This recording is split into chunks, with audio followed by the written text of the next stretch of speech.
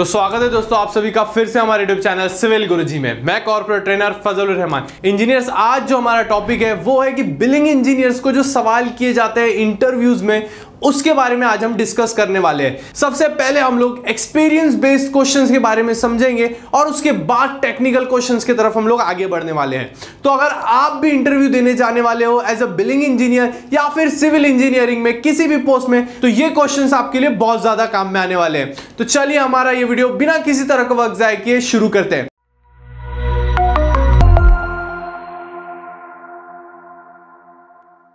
सो engineer सबसे पहले जब आप इंटरव्यू में जाते हो तो सबसे पहला सवाल आपसे यह होता है कि आपने इससे पहले वाली जॉब में बिलिंग इंजीनियरिंग से रिलेटेड क्या सीखा? जो होता है what you have learn from your past jobs that you related to billing engineering कि आपने ऐसी कौन सी जॉब की है कि आप बिलिंग इंजीनियर ही थे आप? आपके रिज्यूम में सारी चीज़ें डिटेल में दी गई होती है। आपने लिखा हुआ होता है कि मैंने एज ए बिलिंग इंजीनियर काम कर लिया है। लेकिन फिर भी वो आपसे ये सवाल इसलिए पूछते हैं क्योंकि उन्हें जानना होता है। वो आपके जवाब से आपकी पर्सनालिटी को पहचानना चाहते हैं। तो जैसे उन्होंने ये पूछा कि what you have learn from your past job that related to billing engineering तो आपका जवाब होना चाहिए कि अपनी स्किल्स को सबसे पहले उससे रिलेट कीजिए। तो जैसे आपसे पूछा जाता है कि आपने पिछली जॉब में क्या सीखा था तो आपको कहना है, एकदम सिंपल तरीके से आंसर देना है कि सर मैंने जो सीखा पिछली जॉब में, वो मैंने सीखा वर्क एथिक्स सीखा। उसी के साथ साथ मैंने टेक्निकल पार्ट्स में बहुत सारी चीज़ सीखी, जैसे अकाउंटिंग स्किल सीखी बिल को प्रिपेयर करना सीखा, उसका पेमेंट सीखा परफॉर्मिंग इस्टीमेशन एंड क्वांटिटी सीखा डिटेल में ऑडिटर से कैसे बात करना है, उसी के साथ साथ उसे कैसे एक्सप्लेन करना है, सारी चीज़ें वो सीखा। मैंने ये सीखा कि किसी भी बिल को डेडलाइन वक्त दिया गया मुझे, एकदम मेरा स्ट्रिक्ट जो है वो शेड्यूल है वर्किंग का कि मुझे इस वक्त में पर्टिकुलर वक्त में मुझे कंप्लीट करना अपना बिल तो उसे कैसे कंप्लीट करना है मुझे? साइट के ऊपर जाकर मुझे कैसी चीज़ों को कंट्रोल करना है? वेस्टेज को कैसे कंट्रोल करना है? ये सारी बातें आपको बतानी होगी उन्हें। तब उन्हें लगेगा कि हाँ इसने इसके पहले बिलिंग इंजीनियर काम करके आया है। मैंने सेल्फ डिसिप्लिन सीखा है। मैंने खुद को इंप्रूव किया है। प्रीवियस जॉब से बहुत ज़्यादा कुछ मैंने सीख के आया हूँ। तो इसके बाद वो बोलेंगे कि आपके लिए दूसरा क्वेश्चन उनके यहाँ रेडी रहेगा आप लोगों के लिए कि what was the toughest challenge you ever faced कि आपने सबसे टफ चैलेंज क्या फेस किया है? तो आप लोगों को अपना एक कोई भी एक्सपीरियंस उनके साथ शेयर करना होगा। एग्ज़ाम्पल देता हूँ मैं आप लोगों को कि आपको कैसा जो है पिक्चर उनके सामने पेंट करनी है। एक एग्ज़ाम्पल की, सबसे पहले आप कहोगे कि, सर, जैसे कि मेरे साइट के ऊपर मैंने एक्सकेवेशन करवाना था, हम लोगों ने उसमें एक जो था आइटम को इंक्लूड नहीं किया था, नहीं सोचा था कि हमें उसकी ज़रूरत पड़ेगी, जो था पंप कि हमें एक्सकेवेशन में, हमें पता नहीं था कि एक्सकेवेशन पिट में जो है उसकी कभी ज़रूरत पड़ेगी। लेकिन कुछ ऐसा हुआ कि बारिश हुई या फिर जब मैंने एक्सकेवेशन करवाया, वहाँ पर ऑटोमेटिकली जो है, वहाँ पर पानी जो है वो भर गया। अब मैं फुटिंग तो उस पानी में करवा सकता था नहीं तो अब मुझे पंप बुलाना पड़ा, जो कि मेरे टेंडर में आइटम इंक्लूड नहीं था। तो इसलिए मुझे जो है ये दूसरा एडिशनल आइटम इंक्लूड करना पड़ा। मैंने उसे इंक्लूड किस तरह करवाया? मैं एई के पास गया, जो असिस्टेंट इंजीनियर थे हमारे गवर्नमेंट के, उनसे मैंने बात की, उन्हें समझाया ये सारे टॉपिक को और उनसे ऐड करवाया, उनसे परमिशन ली। तो इस तरीके से जो है आप लोग उसमें और बहुत सारी चीज़ें ऐड कर सकते हो। तो आप लोगों को दूसरी तरह से इसमें और भी एक्सपीरियंस अपना शेयर करना है। जैसे कि प्राइस एक्सकेलेशन ये एक बहुत इंपॉर्टेंट चीज़ है। अगर आप इसके बारे में अपने इंटरव्यू में बात करोगे खुद से तो उन्हें लगने लगेगा कि ये एक एक्सपीरियंस बिलिंग इंजीनियर है। प्राइस एक्सकेलेशन का भी मैंने एक्सपीरियंस किया हुआ है कि उसमें किस तरीके से मुझे जो है अपने बिल बनाने होते हैं। सबसे पहले तो आप लोगों को यह बताना है कि प्राइस एक्सकेलेशन के लिए आप एक स्टोरी पेंट कर दीजिए। कैसी स्टोरी पेंट करना है आप लोगों को? आपको कहना है, सर, जो मैं पिछले प्रोजेक्ट में काम कर रहा था, उसमें प्राइस एक्सकेलेट हो गया था। किस वजह से? फ्यूल के वजह से। किसी भी तरीके से हो सकता है सीमेंट की वजह से हो सकता है सैंड की वजह से एग्रीगेट की वजह से, लेकिन आप फ्यूल कहिए, किसी भी चीज़ से आप रिलेट करवा सकते हो जो आपके साथ साइट पे हुआ हो। मैं एक एग्जांपल ले रहा हूँ कि फ्यूल जो है फ्यूल एक्सीड कर गया। 80 कुछ रुपीस हमने सोचा था, लेकिन टेंडर में 80 कुछ रुपीस था, लेकिन अब वो 101 पहुँच चुका है 100 पहुँच चुका है। तो उससे जो है प्राइस एक्सकेलेट हो गया। प्राइस एक्सकेलेट होने के बाद मुझे जो है उसमें प्राइस एक्सकेलेशन करवाना पड़ा। एक एग्जांपल दूँ मैं आप लोगों को। अयोध्या में जो राम मंदिर बन रहा है, उसका टेंडर अगर आप लोग पढ़ोगे तो उसमें क्लियरली दिया हुआ है कि किसी भी चीज़ का प्राइस एक्सकलेशन मान्य नहीं होगा, सिर्फ़ पेट्रोल का होगा। अगर सीमेंट बढ़ता है तो भी प्राइस एक्सकलेशन का पैसा नहीं मिलने वाला है सैंड किसी भी चीज़ का नहीं, सिर्फ़ पेट्रोल का मिलेगा। पेट्रोल का भी कब जब पेट्रोल प्लस या माइनस फाइव रुपीज़ हो मतलब पाँच रुपए से ज़्यादा बढ़े या पाँच रुपए से कम हो तब ही प्राइस एक्सकेलेशन होगा। उसके अंडर होता है तो भी नहीं होगा। तो इस तरीके से सबसे पहले वर्क ऑर्डर पढ़ना टेंडर पढ़ना बहुत ज़्यादा इंपॉर्टेंट रहता है। तो ये सारी चीज़ जब आप उनके सामने शेयर करोगे तो उन्हें समझ में आ जाएगा कि ये बहुत एक्सपीरियंस बिलिंग इंजीनियर है और ये हमारी कंपनी के लिए काफ़ी ज़्यादा फ़ायदा कर सकता है। सबसे ज़्यादा आप लोगों को इंटरव्यू में अपने बारे में बताना है। उन्हें आपसे क्वेश्चन आंसर नहीं करना होता है। वो आपके अंदर कितना टैलेंट है, आपने कितना काम किया हुआ है, आपको कितना पता है, इसके बारे में पता करने के लिए क्वेश्चंस पूछते हैं वो। तो उसी तरीके से आपके जवाब होने चाहिए। हाँ या ना में नहीं, कोई एक चीज़ में नहीं, एक पूरी स्टोरी में और उस स्टोरी में अपना एक्सपीरियंस शेयर कीजिए ताकि उन्हें पता चले कि आप एक एक्सपीरियंस इंजीनियर हो। इंजीनियर्स अगर आप site engineer senior engineer quantity surveyor billing engineer planning engineer designing engineer किसी भी वर्क में कंपनी की डिमांड की स्किल सीखना चाहते हैं तो आप अपने लाइफ के सिर्फ़ 10 मिनट दीजिए। Nine triple one double zero one two three four number पर कॉल कीजिए, अपने करियर से रिलेटेड प्रॉब्लम शेयर करिए और पूछिए कि कैसे कंस्ट्रक्शन ऑपरेटिंग प्रोसेस में आपको आपके करियर की उन ऊंचाइयों तक पहुँचा सकता है जिसके आप रियल में हकदार हैं।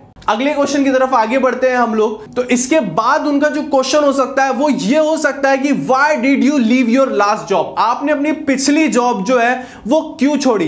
तो इसका बहुत ही ज़्यादा स्मार्टली आप लोगों को यह जवाब देना है कि सर मैंने वो जॉब इसलिए छोड़ी क्योंकि मैंने कुछ नई स्किल्स सीख ली है अब। मुझे कुछ नई चीज़ें आती है अब और मुझे उसे इंप्लीमेंट करना है और मैं प्रीवियस जॉब में उसे इंप्लीमेंट नहीं कर पा रहा था। तो मैंने सर्च किया, मैंने पता किया कि मैं अपनी न्यू स्किल्स का जो है वो कहाँ पर इंप्लीमेंट कर सकता हूँ और कहाँ पर मुझे चैलेंजिंग प्रोजेक्ट्स मिलेंगे क्योंकि अब मैं उनके लिए तैयार हूँ। मैं एक ऐसे प्रोजेक्ट के लिए तैयार हूँ जहाँ पर मेरे लिए वो चैलेंजिंग हो और मैं अपनी न्यू स्किल्स जो मैंने सीखी है उसे मैं इंप्लीमेंट कर पाऊँ उससे मैं कंपनी को फ़ायदा करवा पाऊँ और खुद की मैं ग्रोथ कर पाऊँ। तो इस तरीके से एकदम पॉजिटिव वे में आप लोगों को सारे आंसर्स देने इस तरह के आंसर्स नहीं देने कि उस कंपनी मुझे सैलरी नहीं ज़्यादा मिल रही थी, वो कंपनी में मेरी ज़्यादा ग्रोथ नहीं हो रही थी। इस तरीके से आप लोगों को जवाब नहीं देने फुल्ली पॉजिटिव आप लोगों को जवाब देने हैं। ताकि उसे भी वो पॉजिटिव एनर्जी समझ में आए और वो आप लोगों को रिक्रूट कर ले। इसके बाद आप लोग और भी कुछ चीज़ें ऐड कर सकते हो, जैसे मुझे न्यू रिस्पॉन्सिबिलिटीज चाहिए थी, मुझे नया इन्वायरमेंट चाहिए था। इस तरीके से पॉजिटिव चीज़ें जो है आपको ऐड करनी है। तो ये हो गए कुछ एक्सपीरियंस बेस्ड क्वेश्चन इसके बाद हम टेक्निकल क्वेश्चन की बात करते हैं, जो हर एक सिविल इंजीनियर के लिए बहुत ज़्यादा इंपॉर्टेंट होते हैं। सबसे पहला क्वेश्चन जो आप लोगों से पूछा जा सकता है, वो ये है कि cement consumption for neat cement putting work के लिए कितना होता है? मतलब कि जो घोल बनाया जाता है, वो कितना यूज़ होता है? तो उसे आप लोगों को कहना है कि 4.4 केजी पर स्क्वायर मीटर में उसका यूज़ किया जाता है घोल का। अब दूसरा क्वेश्चन टेक्निकल के लिए क्या हो सकता है आप लोगों के लिए? कि allowable wastage in limit of steel for reconciliation कि रिकंसिलेशन के लिए जो वेस्टेज की जो लिमिट है वो कितनी है? तो आप लोगों को इस चीज़ के लिए सीपीडब्ल्यूडी नॉर्म्स पता होने चाहिए कि उसमें जो है वो कंट्रोल वेस्टेज के बारे में पूरी तरह से जानकारी दी गई है। वैसे तो सीपीडब्ल्यूडी नॉर्म्स में दिया गया है कि दो परसेंट जो है वेस्टेज वो देता है। लेकिन एक बिलिंग इंजीनियर होने के नाते आप लोगों को यह ध्यान रखना है कि ज़ीरो परसेंट वेस्टेज हो, ज़्यादा वेस्टेज आप लोगों को होने नहीं देना है। दो परसेंट बहुत ज़्यादा वेस्टेज है। अगर एक करोड़ का प्रोजेक्ट है तो उसका दो परसेंट समझिए आप लोग दो लाख रुपए हो जाता है। तो ये बहुत ज़्यादा वेस्टेज है। इतना हमें नहीं होने देना है। एक बिलिंग इंजीनियर होने के नाते हमें उसे कंट्रोल भी करते आना चाहिए। तो आप लोगों का जो आंसर होना चाहिए वो सिर्फ़ इतना नहीं होना चाहिए कि सर दो परसेंट। तो हमें पूरा कहना है कि एज पर सीपीडब्ल्यू हमें दो परसेंट जो है, वो वेस्टेज जो है हम लोग ले सकते हैं। लेकिन एक बिलिंग इंजीनियर होने के नाते हम पूरा ट्राई करते हैं कि जो वेस्टेज है, वो बिल्कुल ना हो। अब हम अगले सवाल की तरफ़ बढ़ते हैं कि जो मोड ऑफ़ मेज़रमेंट होता है स्टील का, बार बेंडिंग शेड्यूल का, वो किसमें किया जाता है? तो आपको कहना है कि वो रनिंग मीटर में किया जाता है। क्योंकि जो स्टील होता है, वो रनिंग मीटर में काउंट किया जाता है। लेकिन आप लोगों को इसका और एक तरीके से जवाब देना है कि सर मेजर तो रनिंग मीटर में किया जाता है, लेकिन जब हम लोग कैलकुलेट करते हैं, जब इसका रेट निकाला जाता है तो वो केजीज में होता है। तो जो रेट उठाया जाता है, वो केजीज में लिया जाता है। तो आपको कंप्लीट करना है अपना आंसर सिर्फ़ उतने ही आंसर में खत्म नहीं कर देना है। ठीक है? अब आगे बात करते हैं कि mode of measurement of flooring skirting जो हमारी स्कर्टिंग लगाई जाती है, वो किसमें जो है उसका मेज़रमेंट किया जाता है। सबसे पहले तो जब मेथड ऑफ़ मेज़रमेंट की बात आई तो आप लोगों को कहना है कि, सर एस पर आई एस कोड 1200 में दिया गया है पार्ट 11 में कि रनिंग मीटर में जो है हम लोग स्कर्टिंग का बिल मेज़रमेंट करेंगे। तो ऐसी आप लोगों को विद स्पेसिफिकेशन बताना है उन्हें, ताकि उन्हें पता रहे कि आपको आईएस कोड की भी नॉलेज है। उसी के साथ साथ एक और टेक्निकल क्वेश्चन आप लोगों के लिए वो तैयार रखेंगे। प्लास्टिंग वर्क के जो क्राइटेरियाज है, वो कहाँ दिए गए हैं? कहाँ से हम लोग जो है उसे रेफर कर सकते हैं? तो आप लोगों का जवाब होना चाहिए कि सर हम प्लास्टरिंग वर्क का जो क्राइटेरिया है, उसे रेफर कर सकते हैं। आईएस कोड 1200 पार्ट 12 सीपीडब्ल्यूडी में। तो इस तरीके से आप लोग जब अपने आंसर्स देते रहोगे विथ स्पेसिफिकेशन तो आप लोगों का जो एक इंपैक्ट पड़ने वाला है, वो बहुत ज़्यादा अच्छा पड़ने वाला है। तो अब हम अगला क्वेश्चन समझते हैं। अगर उसने आपसे ये पूछ लिया कि ये बात बताओ कि कितने मीटर का जो बार है, उसे हम वेस्टेज में काउंट नहीं करेंगे स्टील को। तो आप लोगों को कहना है कि एक मीटर से ज़्यादा का अगर बार है हमारा तो वो वेस्टेज में कंसीडर नहीं हो सकता। क्योंकि वो जो सारी चीज़ वो पूछेगा, आपके एक जवाब के बाद उसका जो दूसरा जवाब होगा, वो रिलेवेंट हो सकता है। तो आप उसे क्लियर कर लीजिए कि सर, एक मीटर से अगर ज़्यादा होता है तो उसका हम लोग डिडक्शन नहीं कर सकते, वो वेस्टेज में काउंट नहीं होगा।